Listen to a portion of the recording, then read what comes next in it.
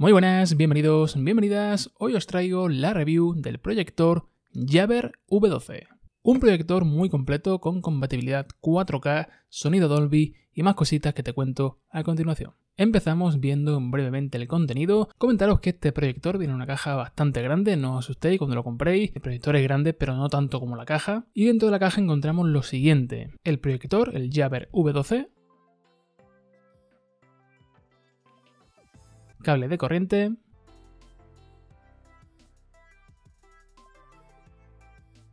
manuales, mando a distancia que no incluye pilas,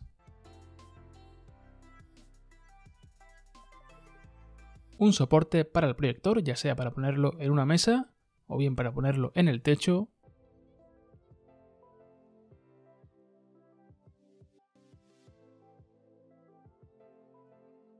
y hasta aquí todo el contenido. Visto el contenido y antes de entrar en el proyector en sí, nos centramos en este soporte, en este pie que trae, tanto para ponerlo en una mesa o para ponerlo en el techo con los cuatro tornillos que trae y es un soporte que nos permite orientar de una forma muy práctica el proyector hasta 30 grados. Si por ejemplo lo tenemos en una mesita, pues nos permite ponerlo eh, mirando un poco más para arriba, un poco más para abajo, nos da cierta versatilidad. Comentaros que yo en la review no lo voy a utilizar porque me parece más práctico colocarlo en un trípode, me parece más cómodo, así que nada, comentaros esto del soporte, pero que sepáis que yo lo utilizo directamente en un trípode. Dejamos a un lado este soporte, nos centramos ahora en el proyector, en el Jabber V12. Un proyector que no es pequeño, ¿vale? No estamos ante un proyector portátil ni nada por el estilo, es un proyector para tener en casa. Eh, sí que es cierto que trae una cita, que como de piel sintética, que lo hace cómodo de transportar, pero es un proyector que pesa, de hecho creo que pesa unos 3 kilos más o menos. No es un proyector para que te lo lleves por ahí de paseo. Está bien para moverlo del salón a la habitación y así dentro de casa. Como decía anteriormente, tenemos un proyector que es grande, tenemos dimensiones de 25 x 22 x 19 centímetros y tenemos una construcción de una calidad correcta en plástico con un acabado blanco mate y en la parte frontal tenemos parte con plástico en acabado en brillo y parte en tela. Si nos fijamos en todos los detalles de este proyector, tenemos en la parte frontal la óptica, una óptica que está diseñada con un sistema cerrado, digamos que la óptica está un poco metida hacia adentro para que no le entre tanto polvo, para que no esté tan expuesta y se pueda estropear o se puede llegar a ensuciar con más facilidad. También tenemos el altavoz en la parte frontal, en la parte de tela y el nombre de la marca Jabber que también está en la parte frontal y también tenemos los sensores de enfoque y corrección trapezoidal. Parte izquierda, si lo miramos desde el frontal, tenemos rejillas de ventilación, rejillas que se pueden retirar para limpiar el filtro. Parte derecha, más rejillas.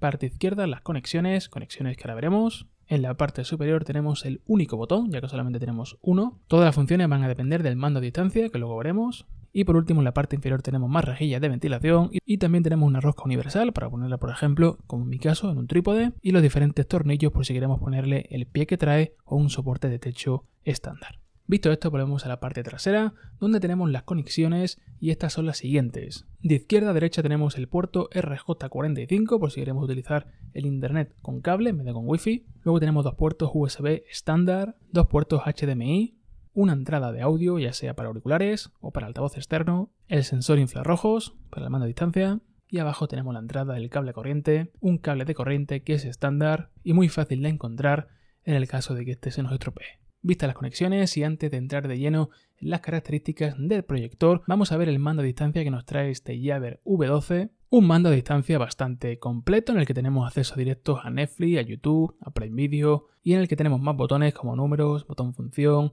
también tenemos el de atrás, luego el de la F que es para el enfoque, lo podemos regular manualmente, y el azul que es para cambiar la orientación del proyector en el caso de que lo coloquemos en el techo o de que lo pongamos al revés.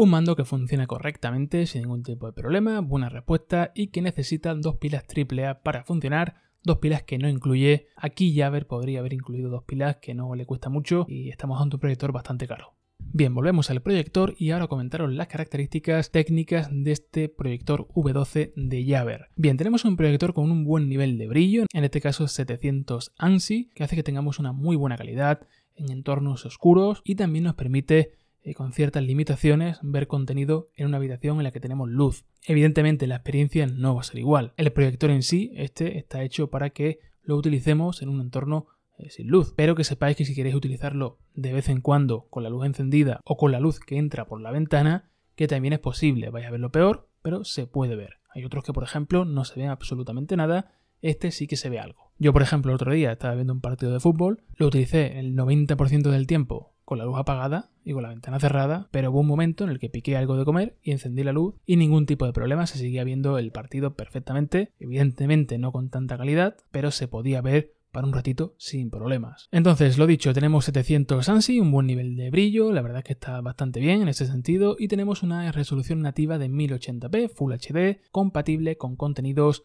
4K, ¿vale? Los escala a 4K y también es compatible con este tipo de contenido. Tamaño de pantalla, aquí no tenemos un pantallón súper gigante de 300 pulgadas, esto no, tenemos la limitación en 160 pulgadas, para mí más que suficiente. Luego tenemos corrección trapezoidal automática, también tenemos autoenfoque y esto lo hace muy bien. Da igual como pongas el proyector, si no lo pone recto, si lo pone desenfocado, da igual, automáticamente se corrige y esto la verdad es que es una maravilla y marca la diferencia con los proyectores que no tienen esta función. A nivel de conectividad tenemos Bluetooth 5.0, un Bluetooth que funciona correctamente, que nos permite conectar una barra de sonido, un altavoz externo, unos auriculares, funciona perfectamente sin ningún tipo de problema. Aquí, ¿qué podríamos exigirle? Una versión un poquito más moderna, 5.3, ya que es un proyector que acaba de salir al mercado. Pero bueno, funciona bien sin problemas y también tenemos Wi-Fi 6 doble banda que funciona correctamente. Más cositas, sonido, tenemos un doble altavoz de 20 vatios compatible con sonido Dolby, y muy bien, el sonido la verdad es que es bastante bueno en este proyector. Lo he utilizado para ver películas, para ver series y no he necesitado poner ningún altavoz externo, ya que tiene un sonido bastante alto y de muy buena calidad. Tenemos también diferentes modos, lo podemos ecualizar y según qué tipo de contenido es más recomendable uno u otro modo.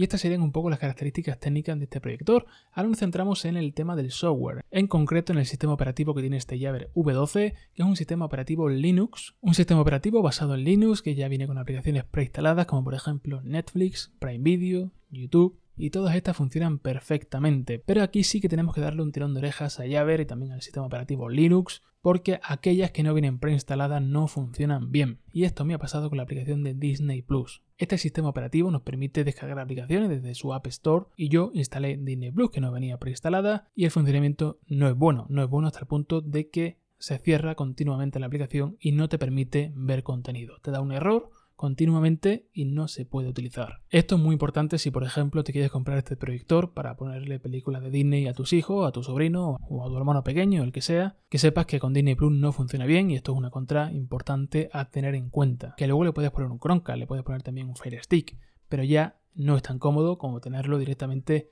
instalado en el propio sistema operativo. Y luego otras cosas que tampoco van bien es el screen mirroring. Yo he probado por ejemplo con un iPhone y a veces falla, a veces falla y no va del todo bien. Para enviar contenido sí que no hay problema. Contenido, ojo, con las aplicaciones que ya vienen preinstaladas, es decir, puedo enviar contenido con Prime Video, puedo enviar contenido con Netflix, pero no puedo enviar contenido eh, con Disney Plus, ni por ejemplo con la aplicación de Orange, por lo cual no es compatible con todas las aplicaciones. Estas cosas se tienen que pulir, Java y Linux se tienen que poner las pilas porque estas cosillas no van bien y hacen que la experiencia con este proyector no sea tan buena. Y ojo, que el proyector en sí, a mí por ejemplo, me ha encantado, pero estas pequeñas cositas le quitan puntos y ya no lo hacen tan interesante. Por lo demás, podemos reproducir música desde un pendrive, podemos eh, también desde un disco duro, películas, series, lo que quieras. Lo que funciona del sistema operativo funciona bien, es rápido, hay ningún tipo de problema. También tenemos muchas opciones para modificar el audio, la imagen. En general, quitando lo que ya he dicho, el resto de cosas funciona perfectamente.